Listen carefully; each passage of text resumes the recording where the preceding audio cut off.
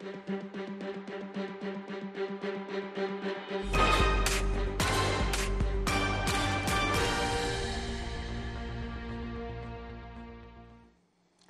уважаеми зрители на канал 3 Телевизията народа. Вие гледате имате думата. Аз съм Александър Владимиров и ви казвам честит празник, скъпи българи. Честит празник, защото днес е 22 септември. Прекрасна дата. Една от важните дати в новата ни история. Не най-новата, може би, защото сме свикнали да наричаме най-новата тази, която идва след 89-та, но изключително важна дата. Дата, на която се е случило важното събитие България да получи своята независимост и може би правилният отговор не е да получи, а да извоюва. Не знам дали това е вярно. Ще говорим точно по тази тема с моя гост днес, Димитър Стоянов от Института за ясна политика. Здравейте и добре дошли, господин Стоянов. Благодаря за поканата. Също да честите празника на всички ваши зрители. Една безспорно много важна дата в нашата история, обявяването на независимостта, на която днес отбелязваме 110 години. Защо е важно цифра... да говорим по тази тема? Защото а, актуалните политически събития са много динамични, случват се, се непрекъснато нови и нови неща. Де се казва в момента, в който говорим с вас, си водим този разговор, сигурно вече по някаква форма сме изостанали от най-новите неща, които се случили в българската политика, но може би на нашите зрители ще им е интересно да водим разговор за актуалните теми. Това ще се случи във втората част, разбира се, но защо е важно на тази дата, въпреки това, че имаме големи събития, които се случват и у нас, и в Европа, и въобще по света, е важно все пак да отдадем значимото време в ефира на, на това, което се е случило преди толкова много време. Преди всичко трябва да знаем, че в историята има събития, които се случват без да имат определена тежест. Има такива, които имат изключително голямо значение в хода на а, развитието на един народ, в неговото оформяне като, а, като нация, като култура, като една общност, която има своите отличителни характеристики. В случая бих искал да подчертая за независимостта, че а, тя не би могла да се както нито едно събитие не би могло да се разделя отделно от а, своя ход, така и самата независимост. Тя представлява част от един по-общ процес, който е, аз бих казал, че започва с написването на Присивата история в един от атонските манастири и продължава непрекъснато това. А, Общото за всички тези събития е, че те не само утвърждават ценности, но и те налагат изискването тези ценности да бъдат утвърждавани непрекъснато. В продължителен период от време. Това не е нещо, което се завоюва и остава статично. То не се формира като статуква, то трябва непрекъснато да се отстоява. Конкретно това можем да видим и в а, контекста на самата независимост. Тя е обявена на 22 септември 1908 година, но след това... Търново. Да, в Търново, но това са по-малко известни събития. След това правителството на Александър Малинов, което управлява тогава... манифеста. Да, това е манифеста, което е отпечатан в Държавен вестник, подписан е от а, вече цар Фердинанд I, между другото първият български цар от 1396 година насам, насам който, който, приема, който приема отново тази титла, след като съответно последната българска династия а, управлява Второто българско царство, изчезва с, а, съответно с а, смъртта на цар Иван Шишман и след това на цар Иван Срацимир, който управлявал Видинското царство, неговите следи се губят общо взето. Но връщайки се обратно на независимостта, трябва да подчертаем, че тя е извоювана на 22 септември, но тя е отстоявана, докато получи своето утвърждаване в следващите дълги месеци, чак до април на 1909 година. Защото тогава събитията в Европа са изключително динамични. Европа е тежко разделена на различни лагери, на а, връждуващи сили, които противоборстват една срещу друга и се опитват да постигнат определено равновесие. И абсолютно всяка криза, която се случва, е евентуален претекст за война. Например, бихме могли тук да отбележим, че когато се случва независимостта и започват съответно започва едно определено много тежко напрежение между България и Османската империя, което не ескалира. А, то се води както... Ема започва ли е правилната дума? То не си ли седи още от момента, в който са подписани всички един след друг и двата договора след освобождението? Напреж... Особено втория.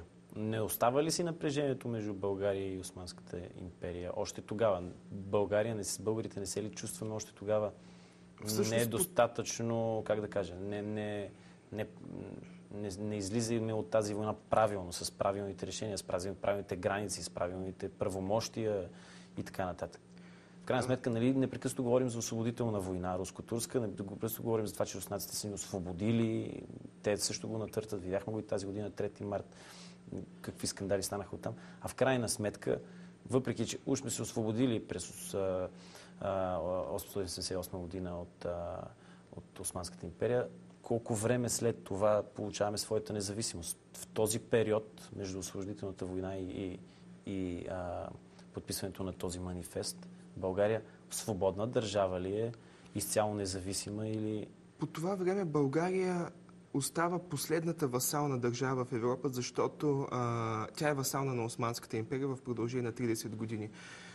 Дори когато а, се изключва съединението между княжество България и Източна Румения през 1885 година, то не приключва като съединение чак до обявяването на независимостта, защото българския княз просто получава тези права, които са на генерал-губернатор на източна Румелия. И в същото време България продължава да плаща три вида данък на Османската империя. Това е данък към самата империя, това е данъка за източна Румелия, който е дължан по, а, съответно по а, договор, договореностите, изключени в Берлин през 1878-79 година. И също, също така а, изплаща трети вид дана, който служи за специално за погасяване на османския дълг. Има един а, изключително фрапиращ инцидент, който се изключва, който между другото правителството на Малинов точно използва, за да започне самия процес по на независимостта. В, а, тогава, се, тогава се чества рождения ден на османския султан. И а, българският а, представител, българският посланник... Иван Гешов. Да, Иван Гешов, съответно и бъдещ министър-председател на България, не е поканен като а, се казва, че той е нали, обикновен османски чиновник и съответно не е задължил да се покани, което предизвика така наречения инцидент Гешов. И става дипломатически скандал. Това се случва на 30 август 1908 година и 22 дни по-късно съответно обявена за независимостта, като а, бих искал да подчертая, че това е, може би, от гледна точка на средствата, които са използвани, това е триумф на българската дипломация, на българската държавност, защото а, Александър Малинов много точно казва, че той е готов да, че а, независимост не се купува, той е готов да воюва с нея, с, да, да воюва с кръв за нея. Също така, когато а, се оказва, че Османската империя не е готова да направи отстъпки пред България, високата порта не е готова да отстъпи от определени положения, той обявява мобилизация на определени военни части, за да покаже, че той също не е готов на отстъпки, но в същото време никой не прекъсва самия дипломатически процес по това нещо. И накрая, а, Независимостта на България през началото на април 1909 година е призната от всички велики сили. Като тук също така е важно да подчертаем, че българската дипломация, включително и с участието на тогава все още княз Фердинанд, който се среща с австро-унгарския император Франц Йосиф, Българската дипломация по много добър начин използва това, че в, след, след приключването на руско-турската освободителна война, Австрия получава правата върху Босна и Херцеговина за 30 години. Този срок изтича през 1908 година, като всички очакват, че тя няма да ги върне на Османската империя, а ще ги анексира, както и става в последствие. И българската дипломация използва този момент да обяви своята независимост, който е синхронизиран с анексирането на Босна и Херцеговина. Тоест България има договор, договореностите на поне една а, велика сила, която да застане зад нея, което е изключително важно в това противоборство. И както виждаме, също така успя да се избегне военен конфликт, нещо, което не става, защото по това време Балканите има един термин Балканският горящ котел. Балканите са били той огромен извор. Да, да, да, той е огромен извор на проблеми и както виждаме как започва Първата световна война на 28 юни 1914 с убийството на а, австрийския престолонаследник Франц Фердинанд. Месец по-късно европейските армии вече маршируват. Нещо, което всъщност би могло да започне и при 1908 година, защото когато напрежението започва да ескалира, Англия и, Фра... Англия и Русия поставят своите бойни флотове в бойна готовност, Австрия започва да струпва войски по границите си с Сърбия и Черна гора, което се случва няколкократно в този период. По време на Балканските войни отново има такива проблеми, по време Аз на Марокканската криза. А, 22 септември е изключително важна и светла дата в нашата история.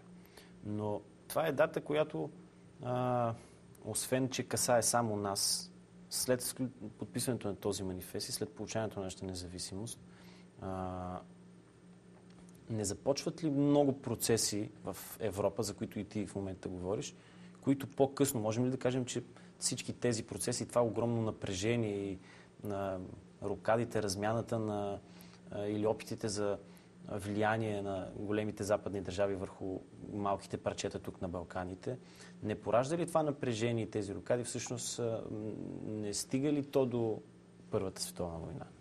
Можем ли да направим такава връзка? Бихме могли да направим връзка, че проблема е заложен в самата система на международни отношения по това време.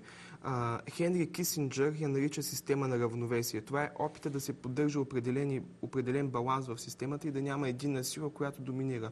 Но прекалено, прекалено често самата амбиция на отделни държави излиза напред, както а, Последният германски император Вилхен II има амбицията да направи Германия световна империя, да завоюва определени колонии. И той започва, например, да строи огромен боен флот, нещо, което директно влиза в конфликт с интересите на а, Англия, която се насочва съответно към съюз с Франция. Германия се опитва първо да сключи съюз с Русия, после оказва в съюз с Австро-Унгария и формира такъв континентален блок самата система предполага наличието на такъв конфликт, защото в момента, в който избухне една криза, няма механизми, които да я, няма механизми, които да я предотвратят. Именно затова след Първата световна война с идеята да, се, да има някакъв арбитраж между отделните държави с цел да се избягват такива конфликти е създадена а, общността на народите. Нали? Това е а, първоначалната версия на ООН. Като, но обаче, както виждаме до началото на Втората световна война, се оказва, че тя няма ефективни механизми, по които да съдейства за избягването на един конфликт, както се получава два пъти. По време на японската инвазия в Китай и съответно в италианската инвазия в Абисиния. Два такива момента през периода, на периода, между двете световни войни, които показват неефективността на този механизъм и съответно след Втората световна война самите държави решават да го засилят по определени параметри. Тоест, ние не бихме могли да търсим а, грешката в действията на отделни държави. Ние бихме могли да търсим това в проблем на самата система и начина по който е функционирал. Защото а, когато самата система е била създадена, един от главните нейни идеолози, тогавашния австрийски канцлер Метерних, безспорно един изключителен държавник, казва, че регулярно всички европейски сили трябва да се събират на конгреси, на които да решават своите международни проблеми. В един момент обаче това нещо се оказва абсолютно невъзможно и наистина няма механизъм, по който самите кризи да бъдат преодоляни. Затова бихме могли да кажем, че българската независимост е нещо, което ние сме постигнали и извоювали, което е целенасочен наш резултат с желанието да го постигнем и с желанието да се утвърдим, да отхвърлим окончателно тези окови на зависимости, които са съществували, които са пречили на България да се развива като а, равнопоставен с всичко останали държави. Един пример ще дам. България наследява от Османската империя режима на капитулациите. Капитулациите това са определени договори между Османската империя и различни европейски държави, които те получават привилегии, съответно търговски, примерно за преференциален внос на стоки. И този преференциален внос на чужди стоки в България е бил голям проблем за тъй като много е потискал българското производство и съответно с обявяването на независимостта те, те са окончателно отхвърлени. С обявяването, тъй като Стамбулов има политика в това отношение за изравняването на митата по неговото управление. С обявяването на независимостта е окончателно утвърден акта на съединението. България става единна държава, българският цар става... Той не придобива само правата върху източна Румелия, както, се, както е станало след 1885 година. Той придобива властта върху една цяла държава, която вече с единно управление.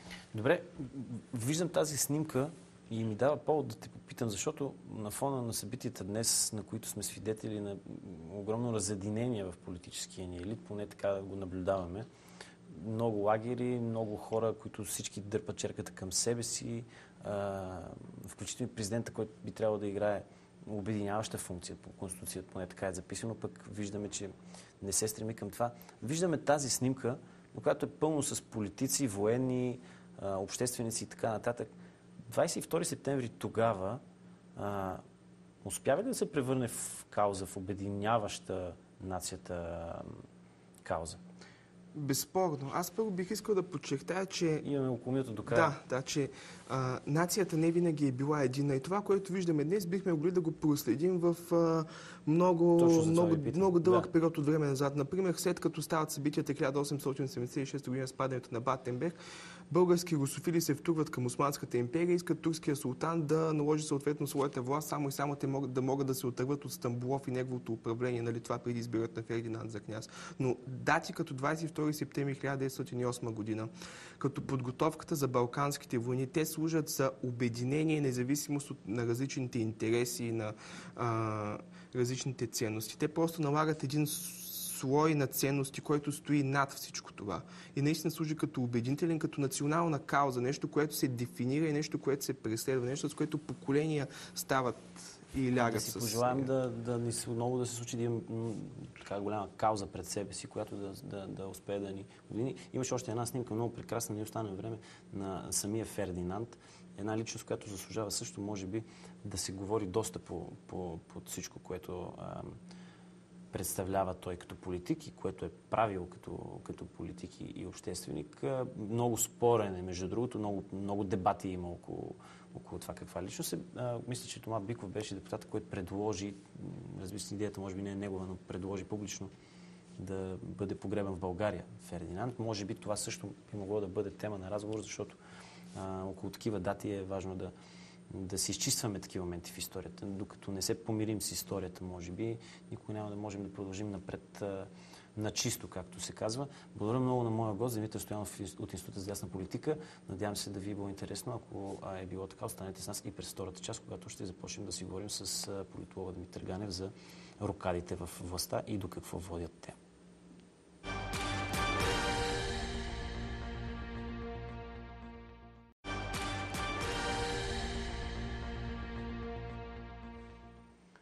Здравейте отново, уважаеми зрители. Продължаваме днешното издание на Имате думата. Мой гост е политолога Димитър Ганев. Здравейте. Здравейте. А, господин Ганев, тази седмица продължава тенденцията на в българската политика все по-динамично да случват някакви процеси, все по-големи, все по-важни.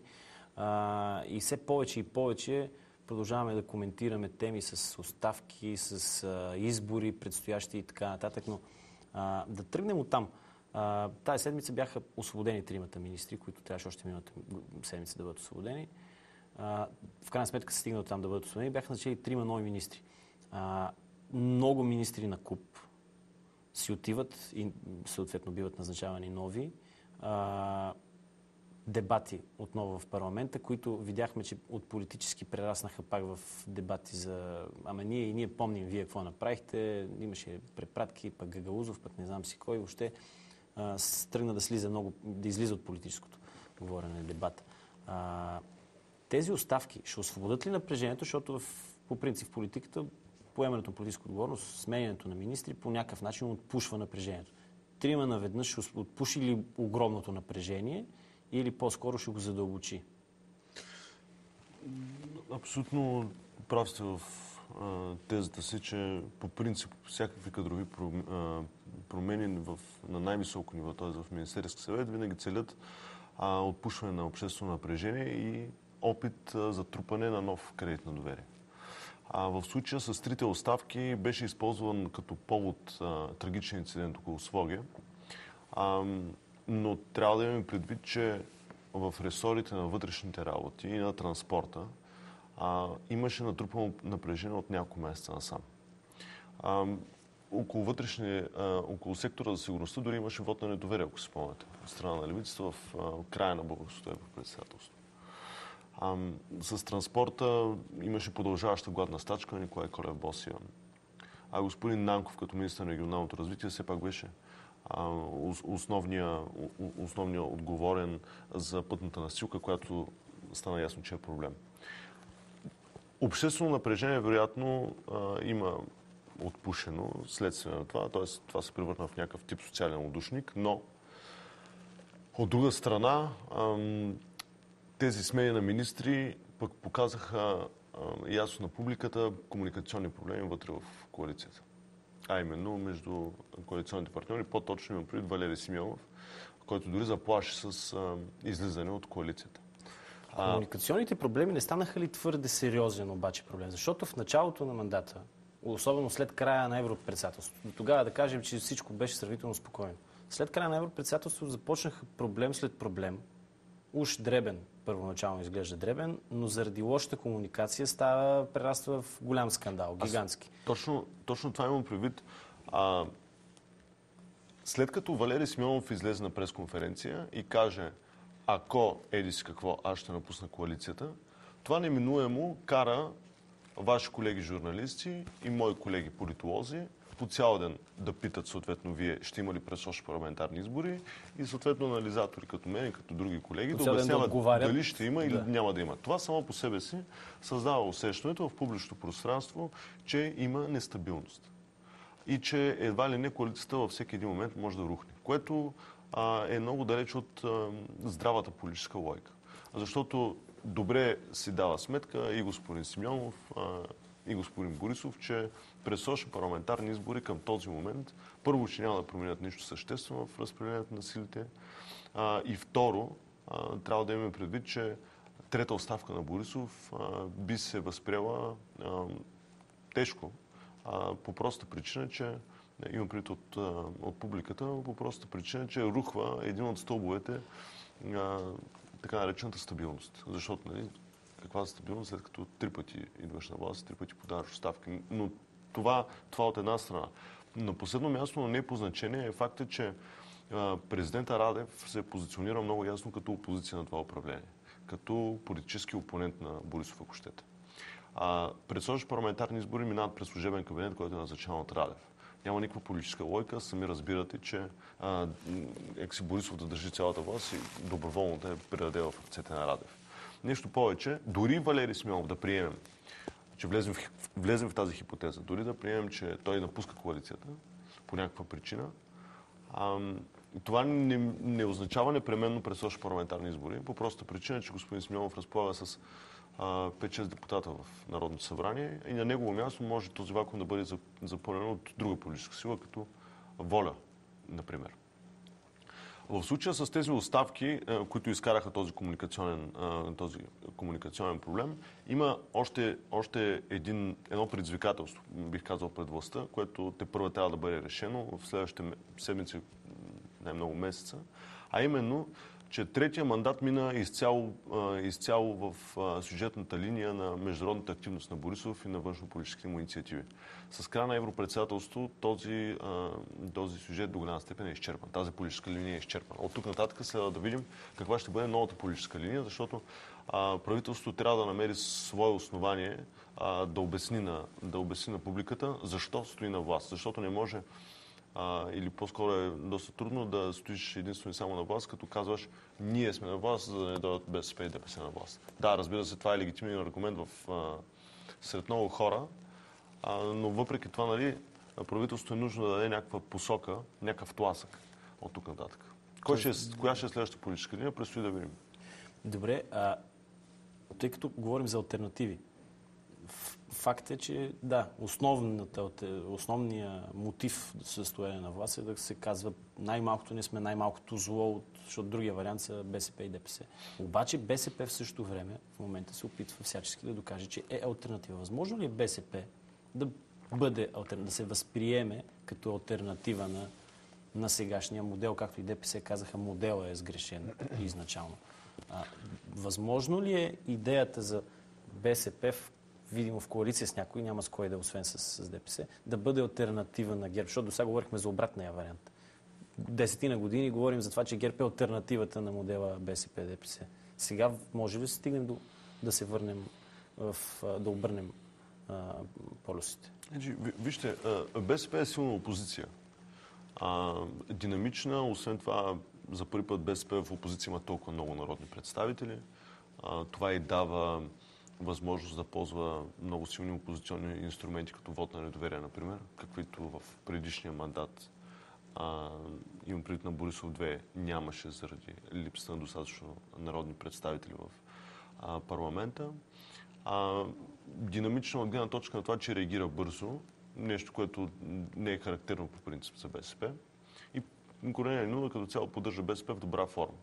А, тук обаче спираме с добрите новини. А, БСП има огромен дефицит на това да се покаже като альтернатива на това управление. Вижте, че в, последните, в последната година и половина, тук ще се позова на данните на изследователски център Тренд, практически нямаме промяна в Ама това ще на... да питам, защото в краткосрочен план на всяка тема БСП реагират веднага, да. както и вие казахте. Излизат през конференции, излизаме с хората, ще правим протести, оставки, искаме и така нататък. Веднага реагират в краткосрочен план, в малката картина, в а, рамките на конкретния казус, реагират бързо и дават някакви, те предложения не дават, ама дават някакви тези. Голямата картина обаче, това, което показват данните, защото а, тук много хора, които играят ролята на Тома Неверни, казват, абе те социолозите не много, много не познават, обаче не може всички социологически агенции да сте се наговорили и да показвате едни и същи данни, в които се вижда, че първата политическа сила е една, има разлика в рамките на 2, 3, 4, 5% с втората. Втората е а, категорично. Тоест тенденция да се обръщат а, а, позициите няма. В голямата картина помага ли им на БСП това поведение? Всъщност това, което наблюдавахме след президентските избори 16-та година е, че се оформи ясен двуполюсен модел между две големи партии и, от, и основният политически разговор минава именно през тях. И в момента, в който стане някакъв скандал, едната партия застава от едната страна, другата от другата. А, и това неминуемо води до консолидация и мобилизация на привържениците на двете партии. А, това е, това е много, много ясен ефект. Легитимация чрез противопоставяне. Закон в политологията. А, просто много ясно, при когато имаш свят разделен на две или в случая политическа България разделена на две на ГЕРБ и на БСП, в момента в който ам, ГЕРБ се отдръпнат, нали, става ясно, че БСП ще идват. А в случая ГЕРБ спечели а, толкова добър резултат на парламентарните избори, казвам не случайно толкова добър, защото 14-та година след едногодишни протести, а, и след ясно, че Борисов е альтернатива на, на, на, тези, на това управление на Орешарски, спечелиха милиони 50 хиляди гласа. 17-та година, след управлението на Борисов 2, което по никакъв начин не може да се привиди като свърхуспешно в очите на, на хората, завършило с оставка, с скандали с реформаторския блок и така нататък, ГЕРБ има 100 хиляди гласа повече в сравнение с 14-та година. Това, този резултат е до голяма степен на базата на това, че просто БСП става много силна. Или по друг начин казвам, когато БСП става много силна, това създава антивод в нейната альтернатива. Альтернативата на БСП е в случая ГЕРБ. То, този модел се запази в продължение на, на година и половина и това е обяснението за тази статичност на електоралните нагласи. Но само да се продължим да. това за альтернативата на, на БСП, да се върнем към предния въпрос. БСП много добре разбира ам, дефицита на альтернативност в, в себе си и излезе с програмен документ в края на миналия политически сезон, озаглавен визия за България, която искаше да отговори на този дефицит. Тоест да каже, ето, ние сме альтернатива, предлагаме това. Този документ, който е практически нещо като предизборна програма, а, нали, обща концепция за управление и така нататък. Въпросът е, че вижте какво се получи. Една седмица след това из, а, изригна скандала Бенчо Бенчев. Нали, ти казваш като опозиция, ние трябва да сменим системата, това управление трябва да се тръгне, това са порочни модели, които са създадени, ние предлагаме альтернатива с визия за България и в същия момент нали, а, в редиците на БСП, да разбира се на местно ниво, се вижда един проблем, който ни е известен на всички от а, десетилетия. Просто той излезе в, а, от средите на БСП. И когато имаш Бенчо Бенчев и този порочен модел, за който всички говорим, а, много трудно може да кажеш, ето ние сме альтернатива на, на тази система, която е създадена от ГЕРБ. Това нали, до голяма степен делегитимира. Но това е нормално. А между другото, такива случаи, тип Бенчо Бенчев, нали, не, не са чужди за нито една партия. Просто тогава казахте, за, казахте за двата полюса. Се опитвам да ви слушам много внимателно. Двата, Трудно ли е? Бе, а, ще ви отговоря след предаването на този въпрос. А, имаме два полюса. От едната страна видимо стоят КЕРП, от другата страна видимо стоят БСП. Окей, обаче в политическата система има, в нашата има и други играчи. Президентът, който е по Конституция и въобще по всички а, закони на, на, на това как се случва политиката. В нас не би трябвало да е страна, но той категорично застава срещу ГЕРБ, съответно отива в лагера на БСП. И имаме опозиция, която е извън парламент, която е категорично срещу ГЕРБ, която това значи ли, че тя трябва да отиде автоматично в лагера на БСП? Тоест, Сти- Стигаме ли до ситуация, в която има двуполюсен модел, двуполюсен модел, в който от една страна имаме ГЕРБ, от другата и, айде да кажем в момента и техните коалиционни партньори, доколкото те а, само заради това, че са в коалиция, все пак трябва да са в техния лагер. И от другата страна всички останали. Отиваме ли пак към варианта двуполюсен модел, в който всички са срещу ГЕРБ?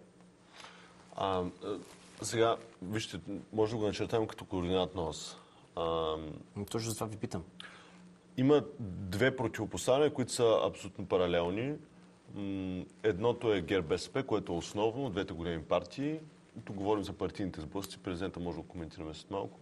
А другото е полуста Обединени патриоти, Движение за права и свободи. Забележете, че а, почти не се приплитат тези, тези сблъсъци. Да. А, основните атаки, нали, вижте го много ясно, основните атаки на БСП са насочени към ГЕРБ и към министър-председателя. А основните атаки на А ДПС... основните атаки- на ДПС са насочени Към към, Обедин- Обединени те не- патриоти. И всъщност те не критикуват а, ГЕРБ и Борисов персонално. Това трябва да го забележите. да, и вчера го видяхме. Карадая в своята реч каза, нито веднъж не каза ГЕРБ са лоши, трябва да си ходят, както казва Корнели Нинова. Той казва, начинът по който е сформирана тази коалиция изначало е грешен. От самото начало ние Заради казваме, че на националистите в властта, властта е грешно, затова искаме предсрочни избори. А, но, това, но в това има много силна политическа логика. По една много проста причина. А, ДПС след този консервативен завой на Корнелия Нинова, а, така, доста по-националистическо говорене, с дистанция от Европа, а, много трудно би се вписал ДПС като партньор в а, една подобна евентуална бъдеща, бъдещо партньорство. Тоест, партньорството БСП-ДПС вече до голяма степен е минирано от тази политическа линия. ДПС много добре си дава сметка, че единствената възможност за някакъв тип участие във властта минава през търсенето на нов партньор. Очевидно това няма да е Обединени патриоти. А, остава ГЕРБ, който обаче е ГЕРБ, има за партньор Обединени патриоти съответно целта крайната политическа цел на ДПС е да елиминира Обединени патриоти от управлението и съответно да влезе в някакви разговори с а, ГЕРБ. За, нали, на този етап ГЕРБ бяга от това нещо, защото добре дава сметка, че това а, би породило имиджови щети върху, върху партията.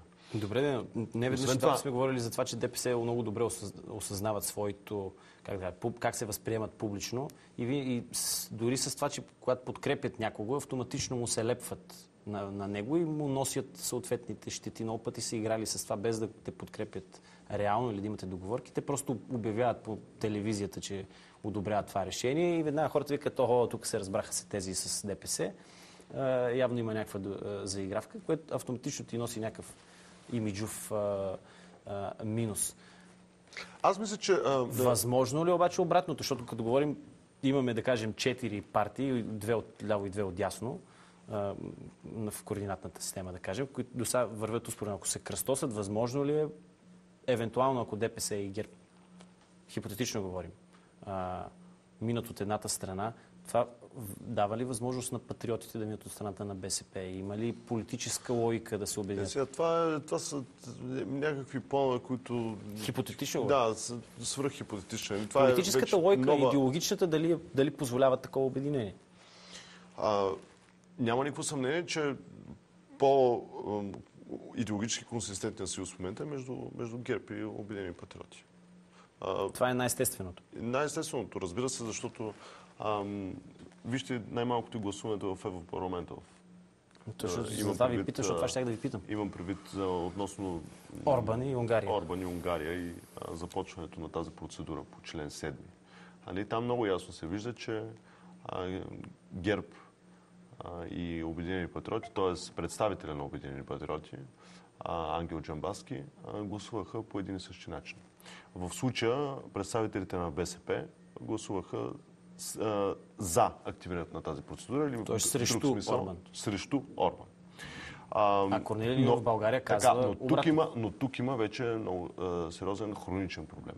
А именно, че а, левицата е разделена по а, тази либерално-консервативна линия. В а, България а, Корнелия Нинова нали, има подчертано, има предкултурен консерватизъм, а, докато Станишев е нейн опонент, в партията на европейските социалисти, като председател на партията на европейските социалисти, той е длъжен да отстоява тази по-либерална, тази по-либерална линия. В случая този сблъсък този сблъсък ще го наблюдаваме още много време, но нямайте никакво съмнение, че а, симпатизантите на БСП, за симпатизантите на БСП, а, линията на Корнелия Нинова е, е много, по, е много по е много по-ефективна и много по-близка до тях и те се чувстват представени чрез нея много по-силно, отколкото през тази на, на Станишев. Всъщност това е фундамента до голяма степен на, на, на електората на, на БСП. Той е културно-консервативен до голяма степен в своята риторика и по отношение на Орбан и въобще по Истанбулската конвенция, тази джендеринг идеология и така нататък, както стана известна в нас, са доста консервативни БСП, както и вие казвате. Има някакъв националистически, националистическа нотка в тяхното говорене. Те говорят за националната държава, говорят за национална идентичност, култура и така нататък. В същото време социалисти. Можем ли да говорим обаче събирайки двете понятия, национализъм и социализъм, може ли да ги съберем в едно и да кажем, че БСП малко по малко се превръща в национал-социалистическа партия? Темата е много дълга. Ако ми позволите, ще опитам съвсем накратко да... Позволявам ви, даже ви задължавам да е съвсем накратко, че имаме около минутка до края. Като исторически контекст. А, всъщност, Живков прави идеологически завой някъде през средата на 60-те и 70-те години а, който е към национализъм и консервира режима до голяма степен. Само ще дам два примера. Честването 1300 години България, последствие възродителния процес. Това са нали, а, много ясни знаци на националистическа линия. БСП 90-те години а, беше партия, която държеше националната карта а имам предвид, беше националистическата формация по някакъв начин. Консервативното, докато СДС а, не, тя беше по-прогресивната. Станишев направи идеологически завой на БСП, като а, я сложи редом в, до партията на европейските социалисти и до социнтерна. Той осъществи това членство. А, БСП не чувстваше, не, не, не чувстваше тази линия като своя, а, Корнелия Линова всъщност върна БСП в а, нейните идеологически корени до голяма степен и затова и на това до голяма степен се дължат и добрите резултати, които тя постигна в, а, на, последните, на последните парламентарни избори и преди това на, на президентските. Но президентските по-особено, че там имаше мажоритарен вод. Говоря за парламентарните най-вече. И държи БСП в една такава добра кондиция. Добре. А, изключително интересно. Не ни остана време да поговорим за ролята на президента, който видимо играе все по-важна роля в процесите, които се случват или поне се опитва да навлиза все повече в а, дълбините на, на случването на политиката в България. Не ни остана време, но пък а, това ни дава повод да поканим господин Ганев отново в нашото студио. Така че благодаря много, уважаеми зрители. Благодаря на Димитър Ганев от изследователски център Тренд за неговото участие. Това беше всичко от нас за днес. Ще се видим утре в 20 часа и 15 минути, веднага след новините, така че не смените канала. Сега останете да гледате именно новините по канал 3. thank you